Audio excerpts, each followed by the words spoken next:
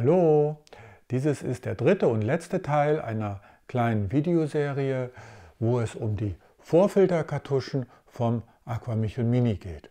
In diesem Teil geht es speziell um die Sedimentfilter.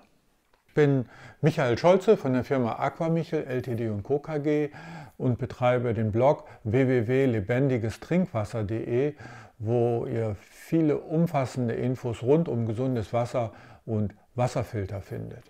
Unter anderem gibt es da auch ausführliche Infos zu dieser Osmoseanlage Aquamichel Mini, die eine Weiterentwicklung meiner ersten Osmoseanlage, dem Minimus, ist, die viele Verbesserungen bekommen hat und die man vor allen Dingen, das ist das Besondere daran, recht einfach auch selber nachbauen kann.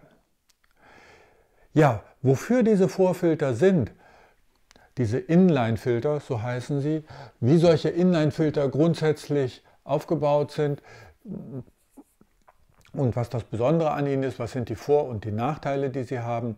Das alles ist Bestandteil von Teil 1 dieser Videoserie, der auch hier unter dem Video verlinkt ist. Und der andere Part, der hier vorkommt, der in diesem Video nicht vorkommt, ich will es nur kurz sagen, das ist der Aktivkohle-Granulatfilter, dieser grüne hier. Um den geht es in Teil 2 und in diesem Teil 3 hier werden wir uns jetzt genauer mit dem Sedimentfilter auseinandersetzen. Der Sedimentfilter ist von der Funktion her etwas einfacher als der Aktivkohlefilter, weil er einfach nur die Aufgabe hat, grobe Schwebstoffe zurückzuhalten.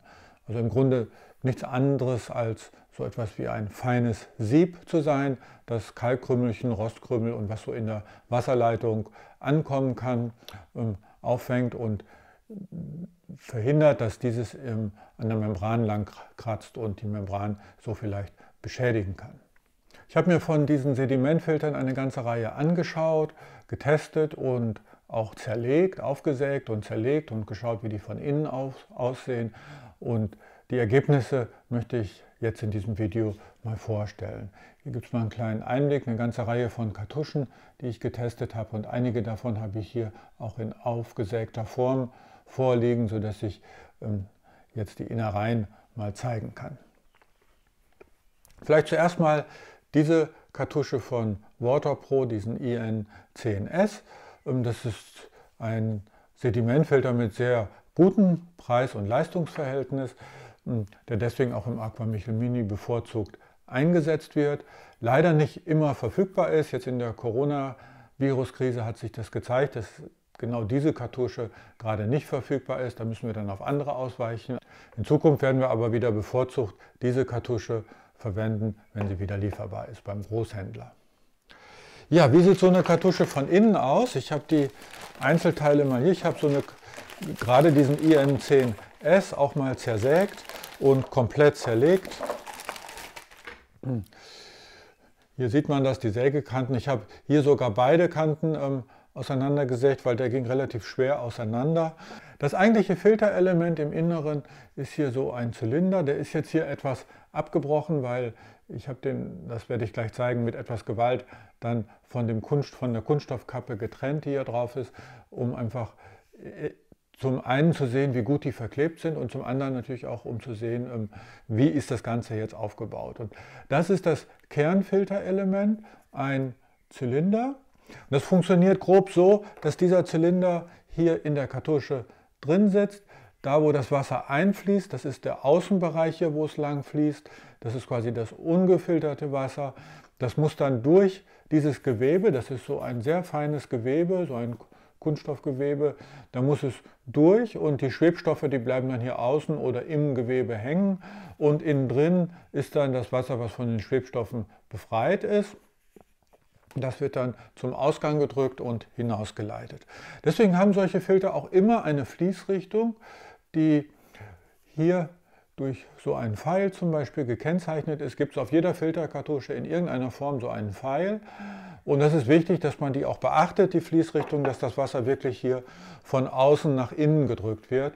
Das ist filtertechnisch was anderes, als wenn es von innen nach außen gedrückt wird. Also so hält er erstmal den Druck viel besser aus und hier oben hat er natürlich auch eine viel größere Fläche, wo sich Schwebstoffe setzen können als innen drin. Da ist ja eine kleinere Fläche, der wäre dann auch viel schneller zugesetzt, wenn man es falsch herum verwenden würde.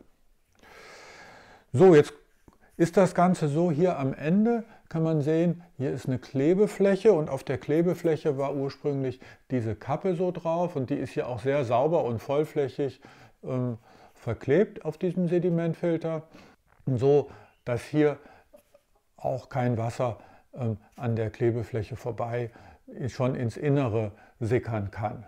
Hm. Was man jetzt hier sieht, das ist leider beim Sägen passiert. Das sieht nicht original so aus. Ich habe da halt versehentlich ein bisschen mit reingesägt. Das war nicht so einfach, genau an der richtigen Stelle mit der Säge dann ähm, aufzuhören. Ähm, ja, das ist die Kappe, die so auf der Eingangsseite sitzt. Die hat hier so weiß nicht, ob man das hier sieht, so kleine Abstandhalter dran. Ähm, die sorgen dafür, dass die relativ mittig dann im Filtergehäuse sitzt und zwischen diesen Abstandhaltern kann das Wasser vorbeifließen, ähm, hier in den Außenbereich des Filters. Und jetzt muss man natürlich noch sicherstellen, dass es hier unten auch gut abgeschlossen ist. Da sitzt eine andere Kappe drauf.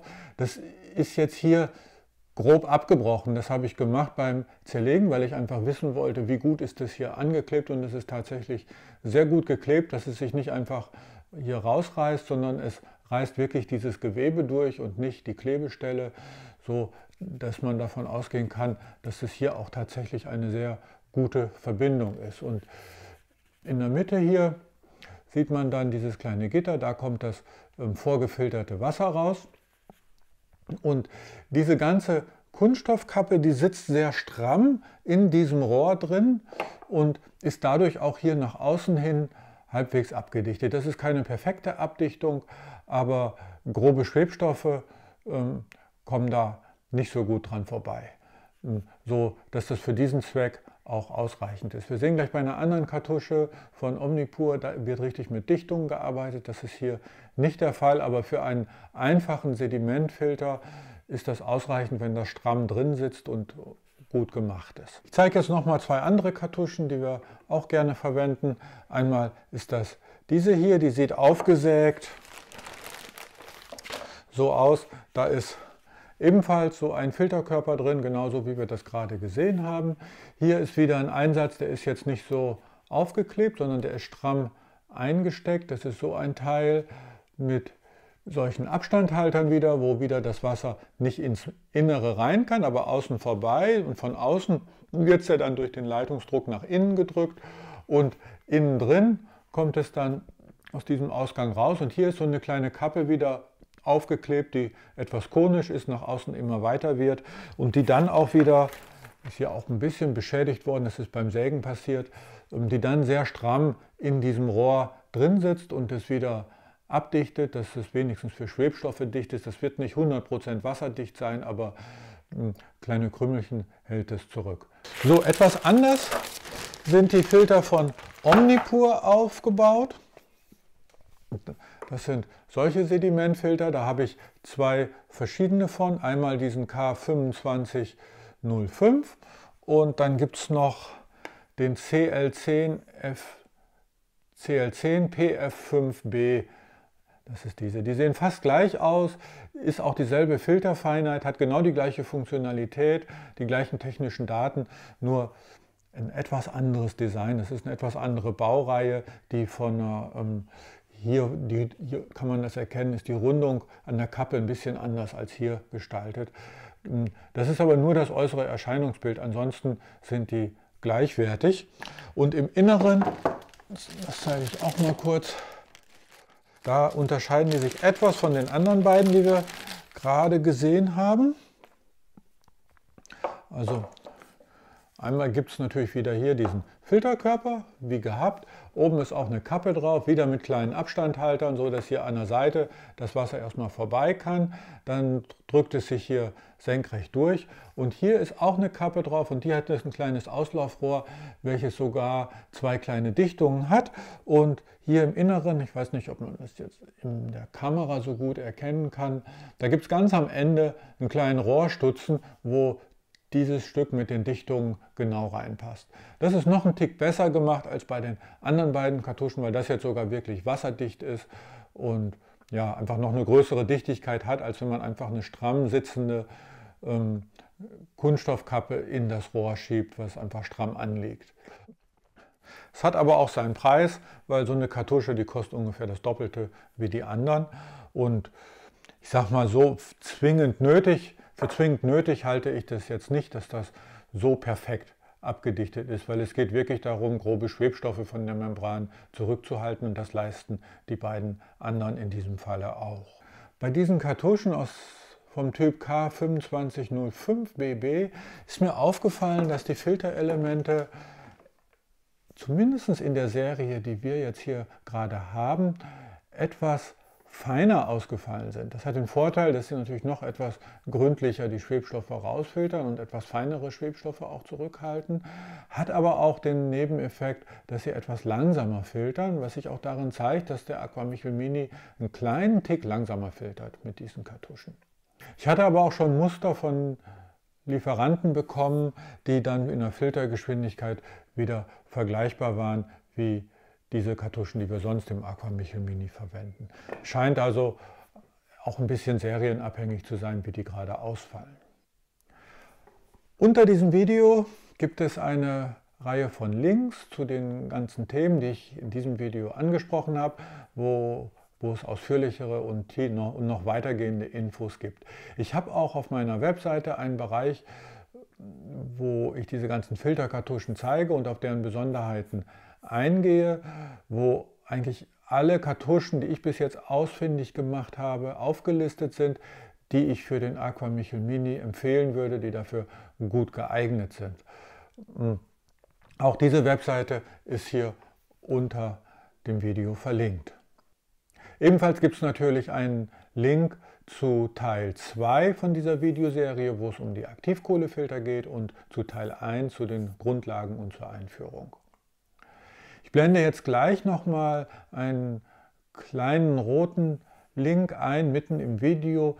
Da klickt bitte drauf, wenn ihr meinen Newsletter noch nicht habt und gelegentlich per E-Mail informiert werden wollt, wenn es Neuigkeiten bei lebendiges Trinkwasser gibt. Ja, ich wünsche euch alles Gute. Tschüss, bis zum nächsten Mal.